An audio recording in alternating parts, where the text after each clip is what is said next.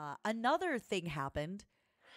I didn't know that protection doesn't go higher than five. I wasted a protection four scroll. uh, look at Millie.